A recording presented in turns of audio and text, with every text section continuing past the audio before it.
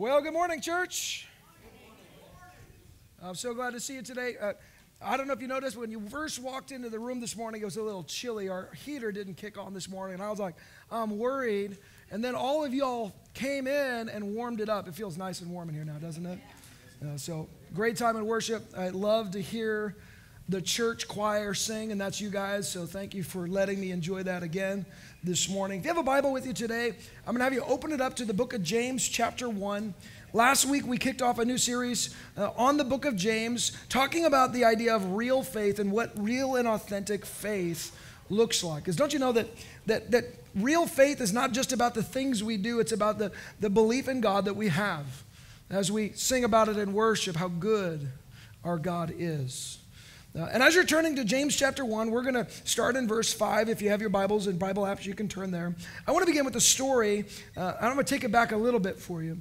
Uh, a story in my life in the summer of 2007, as best as I can remember, is when it took place. But my wife and I, in the time, this was our PK time. That stands for pre kids. Um, and so uh, it, it, was an interesting time in our life, but it was also a season where we were trusting the Lord in a lot of different ways. And it was our, I, I like to call it our, our top ramen season. Uh, you know what I mean? You ever have one of those seasons where it's like, yep, we got some ramen for dinner tonight. But, but every once in a while, we would splurge and we would go and we'd get a couple of steaks. You ever have one of those nights where it's like, it's time to celebrate, honey? And so we had this steak, and I don't remember what day of the week it was on this particular night, but it was, it was the night when our favorite show came on. I'm not even going to tell you what it is because it'll date it too much, but, but I'll just say, kids used to have to turn on the TV at the time the show came on, all right? I'm just going to put that out there. But we were there and we had cooked these steaks, and my wife and I was pre-kids, and so we had a dinner table, but sometimes we'd set up our little TV trays. You ever have those? And we sat up and we're ready to watch the show, and it's a hot summer night, the air conditioner's on, the TV is on, the steaks are cooked, and then all of a sudden I hear this boom behind me. Boom. And then everything goes dark. Pitch black. And in that moment I was just like, "What? This is movie night. This is like our show night." We got our steaks ready. I'm like ready to cut into this amazing steak, and the lights literally went out. And I was caught. You ever have those moments where you're like, well, what do I do now? Like, what are we supposed to do? Our show is starting. The steaks are getting cold. Like, like I didn't know what to do. But in that moment, uh, we didn't have anything prepared and we were caught in the dark. You ever have a moment like that where you feel like you're caught in the dark? Now, uh, today I want to talk about having faith in the dark. Uh, and so I'm not just talking about when the, the power goes out. Some of y'all live in Simi Valley, right? Uh, you know, the power goes out when the wind starts to blow. Some of you guys, your houses, your power turns off every time the wind blows. But I want to talk about have faith in the dark. We have seasons of our lives that are like that, where maybe we thought something was going to go a specific direction. Maybe we had a plan. Do You ever have a plan that didn't go the way you hoped? All the time. Someone, someone testify. Someone's like, Amen. You can testify to that. But we have moments in our life where we think we're going to go this way, and then something changes and we don't go that way. When the lights go out, what do we do? Today, I want to talk about what we do because in these moments, these moments where the lights go out, we need our faith to kick in, and we need to look to Almighty God to know what to do and where to go. And so James gives us some practical uh, wisdom for us in those moments when we don't know what to do, in those places where we don't know where to go, where we can't quite see what the future holds or where we're supposed to be. James chapter 1, starting in verse 5, James lays it down, this practical wisdom from the Lord, like this. He says this He says, If any of you lacks wisdom, let him ask God. Turn to the person next to you and say, Ask God.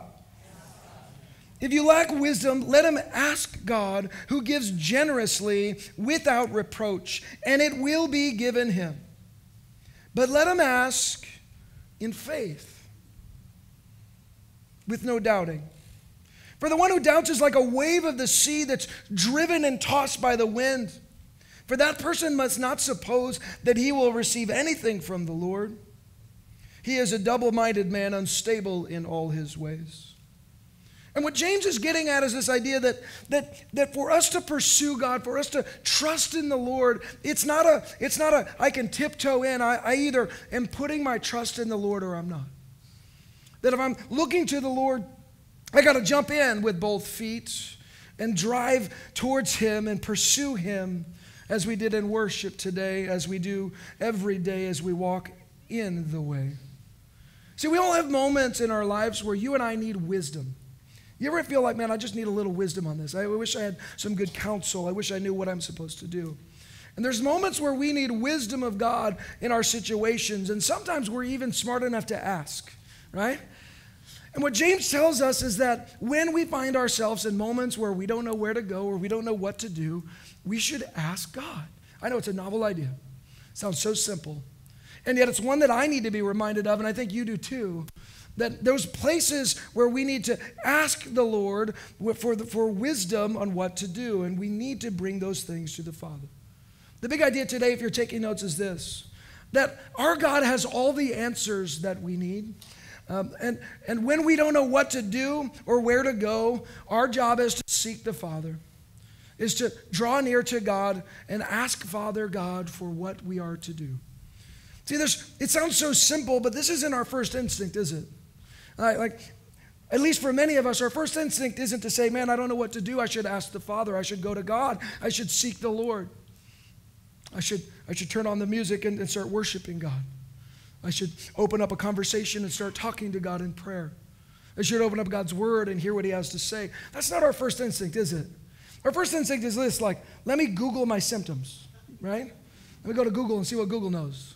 Or, or I'll say, hey, Siri, I need your help on this. Like, what's the answer to this question? And we'll go and ask Siri. Today, we're, we're in, a, in a strange season. Now we can go to like AI and, and talk to artificial intelligence and ask computers questions because they have lots of information. But today, as we talk about this idea of coming to the Lord, we're reminded that, that what we need is not just more information, we need the wisdom of God. We need the wisdom that the Lord can give to us and wants to give to us generously, but we have to come to Him and ask Him. See, God is the one that can give us the wisdom we need to get through the darkness of night. Whatever dark situation you might be facing, or maybe you just went through, or maybe it is on the horizon for you, the Lord has everything you need in that moment if you'll simply draw near to Him in faith and ask of the Lord.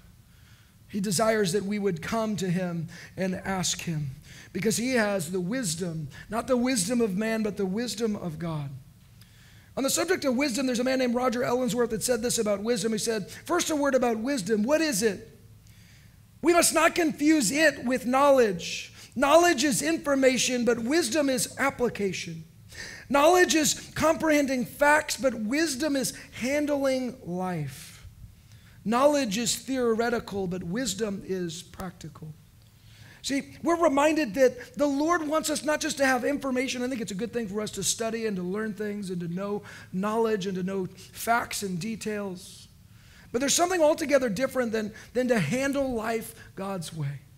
Don't you know that I can know all the right answers and make all the wrong choices? Some of y'all like I can testify to that.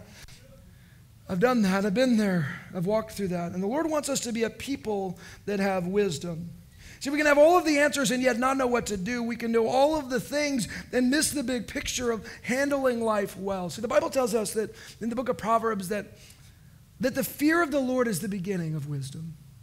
That if we want to understand wisdom, and when the Bible says the fear of the Lord, it doesn't mean like I'm, I'm shaking in my boots, I'm, I'm scared of God. It means that I rightly position God. I recognize that He is God and I am not. That He is the creator and I am the creation. That He is Lord and I am man. And that's not a, like a, a, little thing, like I'm going to think small of myself, but it's, it's something that I'm going to make big God as I understand the bigness of our God. But the Bible tells us that there's something important about that because when we find ourselves in those places of darkness, we must simply stop for a moment and seek the Lord. Because our temptation is to look elsewhere, isn't it? In fact, I've had this conversation with many pastors that, that there's so many of our sins, in fact, every one of our sins, everything that we struggle with in life, if you boil it down, it has to do with these, these things that we're looking to something else besides looking to God. And that leads us down the pathway of addiction. It leads us down the pathway of brokenness and wrong relationships, all sorts of things. Because the Lord wants us to turn to Him, and it is there that we can find the wisdom of the Lord. But the problem is that sometimes when the lights go out, instead of turning to God, we turn to our own devices. We turn to our own solutions. I think of the prophet Isaiah that spoke of this in the people of Israel. In Isaiah chapter 50, starting in verse 10, he speaks to the people of Israel uh, on behalf of the Lord, and he says this. He says, Who among you fears the Lord and obeys the voice of his servant? Let him, I want you to hear this, let him who walks in darkness and has no light, let him trust in the name of the Lord and rely on his God. It says, when the lights go out, trust in the Lord. Rely on the name of, of your God. Then he says, the other choice that is ours is verse 11 Behold, all you who kindle a fire, who equip yourselves with burning torches. Well, you can walk by the light of your fire and by the torches that you have kindled. This you have from my hand, you shall lie down in torment. What is he saying? Is this like a, a threat? No, he's saying to us that when the lights go out, we've got an opportunity, we've got a choice, we've got a decision to make. Am I going to rely on the name of the Lord? Am I going to look to God and when the lights go out? Or instead, am I going to pull out of my pocket my flashlight, my lighter? Am I going to light a match? Am I going to try and find my own way when I find myself in a place of darkness? Or instead, am I going to ask the Lord for the wisdom on where to go? In fact, I don't want to just read that verse and just gloss over it. I want to pray. Can we pray? Father, today we just thank you for your word. God, as your warning to the people of God was so clear, you told them that when we find ourselves in darkness, we must trust in the name of the Lord and rely on our God. But you also say that we could light our own torches and try and find our own way through the darkness. God, many of us have been down that road. Many of us know what that feels like. It doesn't lead us to the, the path that you want us to go on. So, today, if there's been areas in our lives where we've lit in our own torches, where we've tried to fix ourselves, where we've tried to save ourselves, we want to repent and turn back from those things to the living God. We declare with our mouths and believe in our hearts, God, that we trust in you. In the name of the Lord, the name that is above every other name. We put our trust in you today in Jesus' name. Amen. See, when the lights go, in our, go out in our lives, we've got those two choices. We can look to God in His guiding light, or we can break out our matchbook and start to light our own torches. And the choice is ours, but I believe that the Lord's best for us comes when we trust in the Lord, when we lean into Him in those moments of darkness, when we look to Him for what is to be next. See, if we choose to silence the noise and the chaos of darkness, we can learn to focus our eyes on the light of God's direction.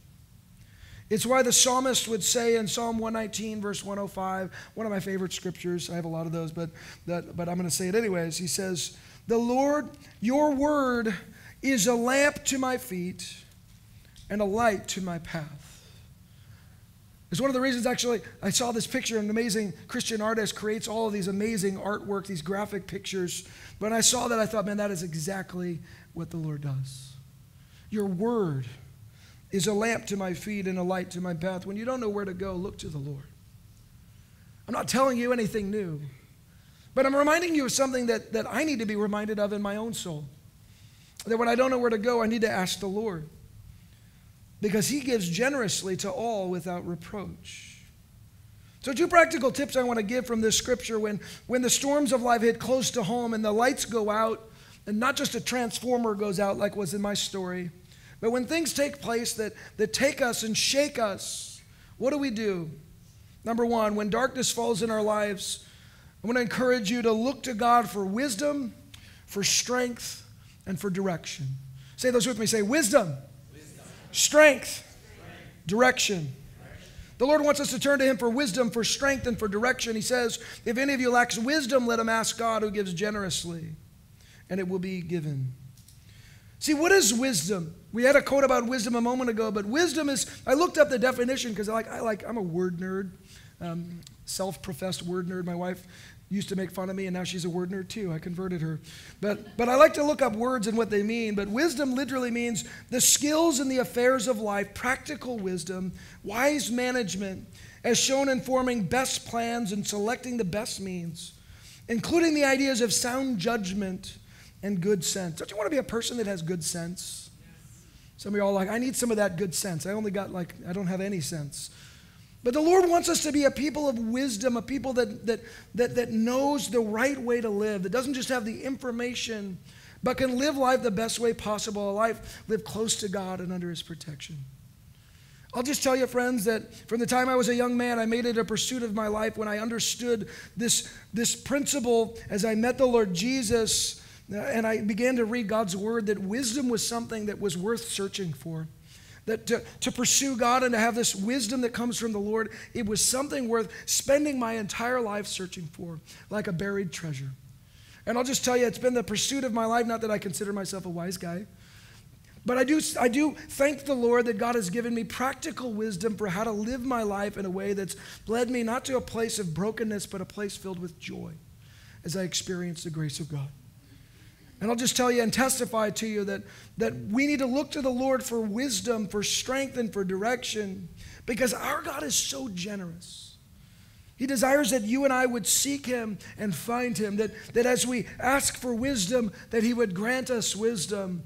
Some of us are dealing with situations that are above our pay grade, and we need the wisdom of God to bear in our lives. Ask him, seek him, pursue him because he is generous to those who seek him. So we've got to get our eyes on the Lord. Now it's funny, as Matthew was in rehearsal and he began to quote this entire psalm from memory, I thought, Lord, you're doing something. You're wanting to use this verse. Because in my message is Psalm 121, verses 1 and 2. I'm just going to read the first two verses. Matthew could come up and recite it the whole thing again from memory, but I'm going to read it so I don't mess it up. It says, I lift up my eyes to the hills. From where does my help come? My help comes where? From the Lord, who made heaven and earth. See, he's saying to himself, he's saying, Where does my help come from? Does it come from the hill? No, no, no, no. My help comes from the Lord. The God who made heaven and earth, the creator of all things, the one that holds the universe and, and, and, orders the stars and orders everything in this universe. That God is my God.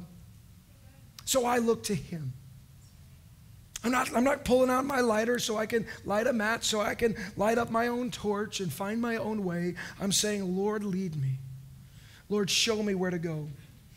Because I look to you for wisdom, for direction.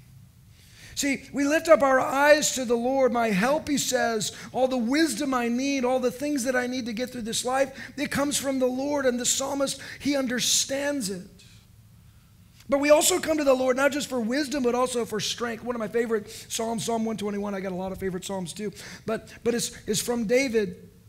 And David, if you don't know David, if you haven't read through the story of God and read the, the life of David, David was like a mighty man of God. Not just a mighty man of God, he was a warrior.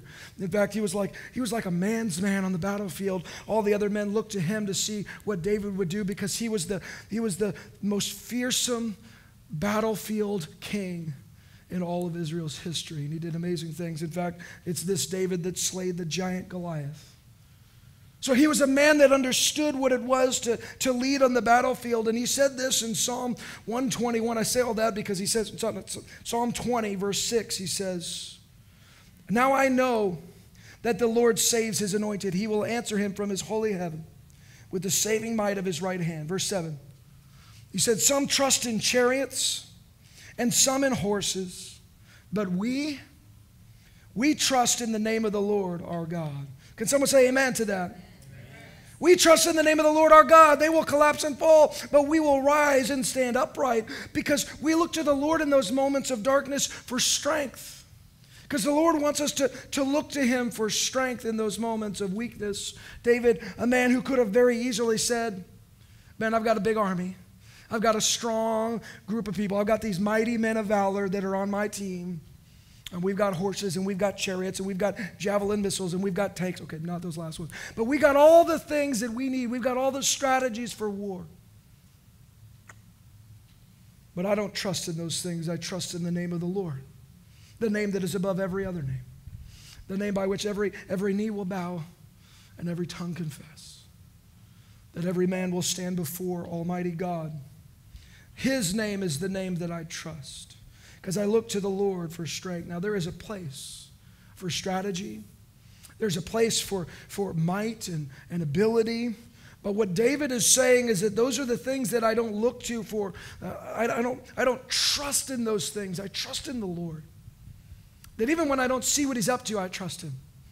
And I can sing songs like we did in worship. Even when I don't see what's, what's at the end of the tunnel, I can say, God, you are good. All my days you've been faithful. So I'm going to sing of the goodness of God. As I say that, I think of Paul and Silas in the prison singing worship and praise in the middle of the night as they're in shackles, literally in prison. The Lord breaks open the prison. It's an amazing story. But I, I just think of what would take to have that sort of abiding faith that even in the midst of a hardship, in a trial, in a struggle, they can praise and glorify God and say, God, even though right now I'm not where I want to be, I can praise you because you're good. He is so worthy of our praise. See, this is why the Lord commands us and commends his people to not be overcome by fear as we look to the Lord for strength. I think of the word of the Lord in Isaiah 41 as he speaks to the people through Isaiah the prophet. He says, Fear not, for I, God, am with you. Be not dismayed, for I am your God. I will strengthen you and I will help you and I will uphold you with my righteous right hand. And I love the imagery of that because what the Lord is getting at, what He's wanting them to imagine with their mind is that, that we walk with the Lord. And, and like my little boys come and walk with me, they hold daddy's hand. And I know that they're going to stumble. I just know it. And when they stumble, I uphold them by my strong right hand because I'm stronger than them. I'm bigger than them. I'm able to hold them up and keep them from stumbling. That, that even when they, their, their, their feet stumble, I keep them from falling face first. The Lord wants to have that sort of intimacy, that sort of close relationship with you and me. He wants us to look to Him in those moments of desperation, those moments of darkness, and find our strength in the Lord because it, when we trust in the name of the Lord, He's able to uphold us with His righteous right hand. So when the lights go out, we got to look to the Lord for strength. We got to look to Him for wisdom and for strength and finally for direction. When we look to the Lord for direction, the, the Bible tells us that the Lord will lead us and guide us. As we read in the Psalm, Psalm 119. But also Psalm 23, verses 1 through 3 says this. It says, some of us are familiar with this one. You might have this one memorized or in the back of your head rolling around. It says, The Lord is my shepherd, I shall not want. He makes me lie down in green pastures. He leads me. Say, He leads me. He leads me beside still waters. He restores my soul. When I'm wounded, when I'm hurting, when I'm broken, He can bring restoration to my soul. He leads me. Say, He leads me. He leads me in the paths of righteousness for my namesake. Friends, I want you to hear the heart of God. He wants to lead you, He wants to be your shepherd here in the psalm, but also Jesus speaks of this, and many times throughout the scripture, the Lord speaks of wanting to be the shepherd of his sheep. And y'all, we don't understand what it is to be a shepherd, but but Jesus did. He wants to lead us. He wants to guide us. He wants to, to be the one that shows us which way to go. That's why James exhorts us to, if we lack wisdom, to ask God. And wherever you're at in your life, the Lord wants to be your shepherd. He wants to lead you and to guide you. And a shepherd leads the sheep not necessarily where they want to go. Can I just say that? Sometimes the sheep want to go to dumb places. They want to go to places. I've watched, I watch videos of sheep. I, I like to watch it because I'm like, you guys are so dumb. You're going to just jump off a cliff. But a shepherd's like, no, no, no, no, go over here. And a, a shepherd leads them to where they need to be. Maybe not where they want to be, but where they need to be. Because they're going to go over here into the desert and they're like, no, no, no, come over here to the water so you don't die. And a shepherd not only keeps them and guides them to where they need to be, but he also protects them from the wolf that wants to devour them. We've all seen stories of sheep wandering away and being devoured, but, but I'll just tell you that the Lord wants to be that shepherd. He wants to guide us in where we should go, He wants to, to lead us. But I'll just tell you that, that even as we talk about this following in the Lord, I just want to say to you this isn't a matter of doing, it's a matter of having a relationship with the shepherd and simply listening to his voice. This isn't like a performance thing, like, oh, I didn't obey perfectly, so God doesn't love me anymore. This is that would be legalism. The Lord wants, wants us to follow him. He wants us to pursue him. He wants us to, to ask him when we're in need of wisdom, and he gives so very generously. See, but the reality is this it takes humility to ask God, doesn't it? It takes humility to come before the Lord and admit, God, I don't know where to go. The lights are out. I don't see what the future holds. But the, the Bible tells us that when we look to the Lord, when we ask the Lord, He answers us and He meets us. He wants to give to us generously. My last small point, don't worry, this is a small point, is that when the darkness falls, sometimes our temptation is just to stop. But when the darkness falls, we must not stop moving. We must keep pursuing the things of God. Keep drawing near with faith to the Lord. See, the Bible tells us that, that when, we, when we're in need of wisdom, we need to ask the Lord. We need to keep pursuing the Lord. And I'll just tell you a practical bit of wisdom the Lord, uh, someone gave to me a long time ago, I want to pass on to you. It's this is that sometimes we're in moments in our life where like that feels like the lights just went out. I don't know what I'm supposed to do. And so very often the Lord's answer would be simply be faithful to what I've called you to do already. Like, but I don't know what's next. And I say, well, keep doing what God's called you to do now. Keep being faithful. There's moments where we can't, we feel like, man, is God here? He's very near to us. But there's moments where we wonder, Lord, are you there? Are you still with me? James says, let him ask in faith with no doubting. For the one who doubts is like a wave of the sea that's driven and tossed by the wind. I think about a wave of the sea, or I don't know why I imagine myself in a little floaty in the middle of the ocean. And if I'm not moving in a direction, that wind is just going to blow me around. The waves are just going to push me around. And what he's saying to us is that, that as we draw near to the Lord, as we ask the Lord for what's next, he will direct us and show us which way to go. Because waiting on the Lord doesn't mean I stop doing anything at all. It doesn't mean that. It means simply that I wait for the Lord, for him to do what he wants to do. See, perseverance is often the most difficult when the lights are off, but it's in those moments that we must draw near to God. We've got to press in to the Lord, draw near to the Father. It's most difficult in those moments. I want to read one final psalm or one final verse today, and then I want to pray and I want to invite the Lord to do what He wants to do. Because I believe that as, as the Lord put this verse on my heart, I believe the Lord wants to speak something to somebody today. Uh, and this is a prophetic word that was given to the people of Israel, but I believe the Lord is still speaking. His word is living and active. Isaiah 42 16. I want you to hear these words. He makes this promise to the people of God. He said, And I will lead the blind in a way that they do not know. In paths that they have not known, I will guide them. They don't know where they're going God does. He said, I will turn the darkness before them into light, the rough places into level ground. You ever go through rough places?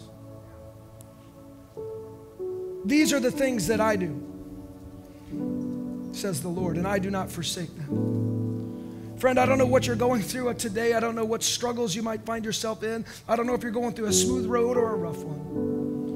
But I just want to give you, I want to testify to you today and say, this is the thing that the Lord does.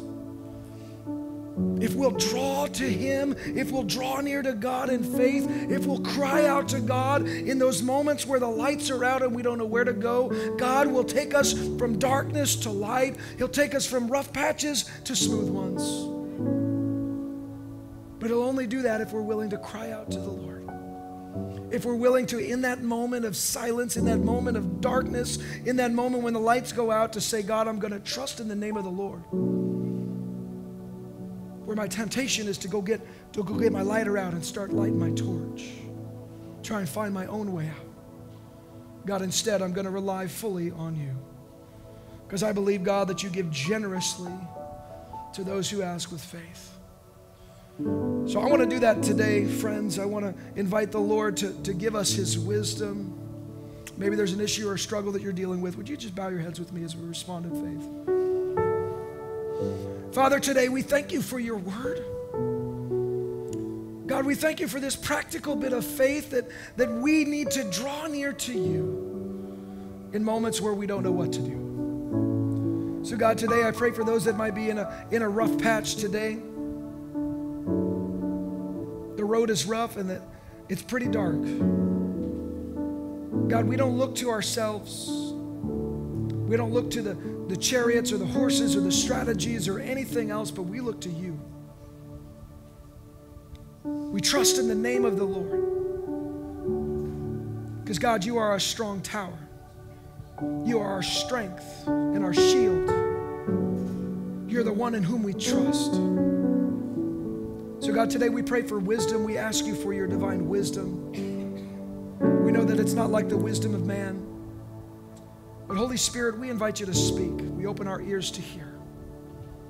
Give us your wisdom. And, God, if there's been things that we've been tempted to, to turn to that aren't you, today we just want to repent and say, God, we're done with that. We're done turning to substances. We're done turning to relationships. We're done turning to anything else that was never meant to satisfy us. We put out our torches and we look to you, Father. We invite you to lead us like our shepherd because you are the good shepherd. Let us hear your voice. Let us follow. We trust in you, Father. Father, with every head still bowed and eyes still closed, perhaps you're here within the sound of my voice.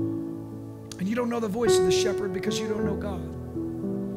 I want to give you an opportunity in just a moment to respond with faith in the, the saving work of Jesus Christ. See, the Bible says that, that, that He wants to know us, He wants us to have a relationship with Him. But the Bible tells us that sin has separated us from God.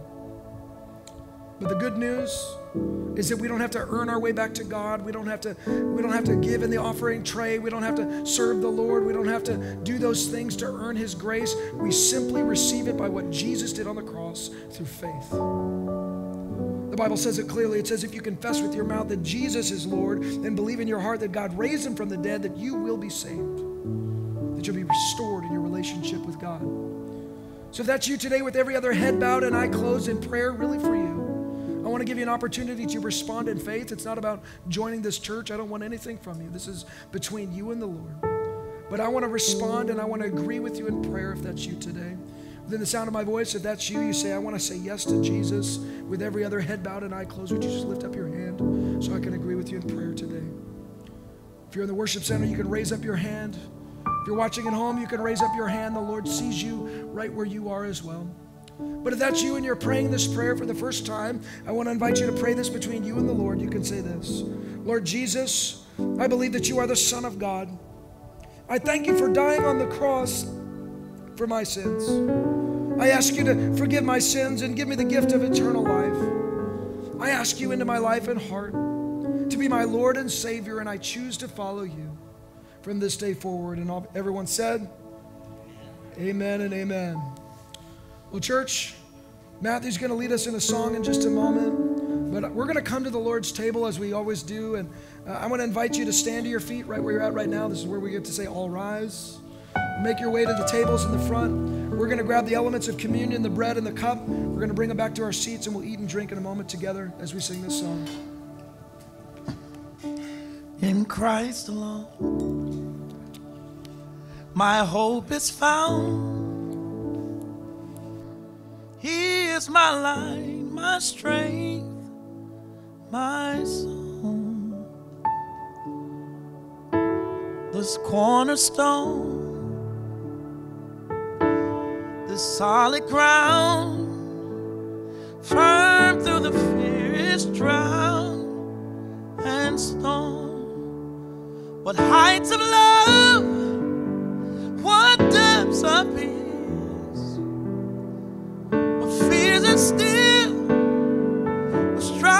seas, my comforter, my all in all. Here in the love of Christ I stand. In the love of Christ I stand. There in the ground his body lay, light of the world by darkness slain, then bursting forth in glorious day, up from the grave.